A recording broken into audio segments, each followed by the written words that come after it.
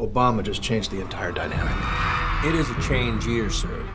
We need to create a dynamic moment in this campaign. Or we're dead. Senator McCain today reshuffling his most senior campaign staff. We desperately need a game changing pick. And none of these middle aged white guys are game changers.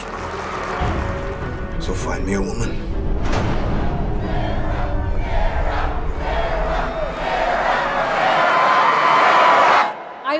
Honored to accept your nomination for Vice President of the United States.